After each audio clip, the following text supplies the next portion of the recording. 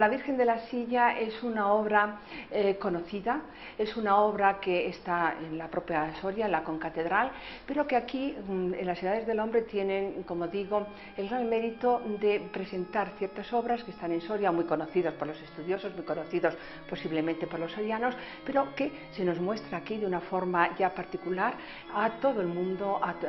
digamos, expuesta a todos los visitantes de las Edades del Hombre. Bueno, es una obra que es de Joan Sorega, presenta una imagen renacentista y se titula La Virgen de la Silla. No está sentada en una silla, está sentada en un trono marmorio bajo un ábside porque nos está representando a la Virgen sentada con el niño y flanqueada de ángeles, ángeles que presentan a San Juanito, al Señor, eh, al niño Jesús, un niño, bueno,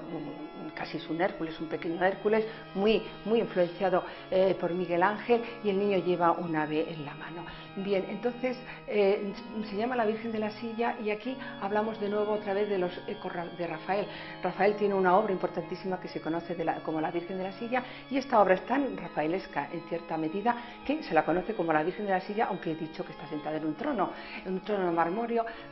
que está bajo eh, eh, un pequeño hemiciclo, un pequeño ábside, en donde se nos está un poco evocando a la Virgen como iglesia y dentro de la iglesia. A su vez, acotada en un pequeño, en un pequeño huerto que todo tiene una, alegoría, un simbolismo. Mm, aquí se ha, preguntado o se plantea que si esta artista Soreda pues ha estado en Italia. Yo no sé si, porque no hay una documentación, se ha estado en Italia, pero sí que todo